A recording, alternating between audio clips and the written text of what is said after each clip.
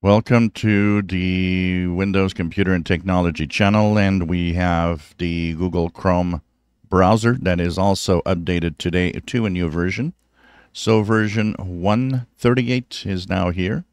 If you go to your Google Chrome browser, upper right corner, three vertical dots, help, about Google Chrome, you will see 138.0, that's 7204.50 or 49, depending on what version you are. So there's uh, very few new outwards, um, you know, front-looking features, basically.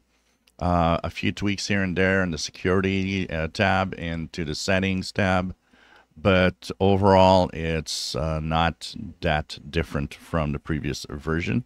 What it fixes, though, is 11 security flaws. That's a lot of security flaws. Several are high, um, high um, vulnerability, and some are, of course, uh, moderate or low.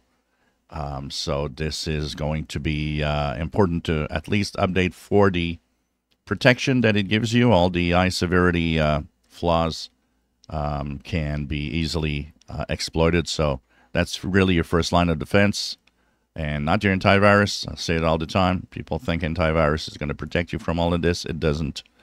Uh, the updates protect you from all of this. This is the number one security um, feature. Update your software.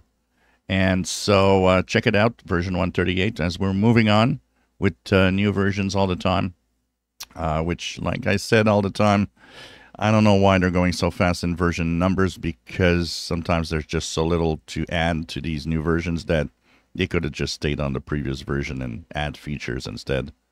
But that's the way they work. And of course, Firefox updated today also. If you enjoy my videos, please subscribe, give us thumbs up. Thank you for watching.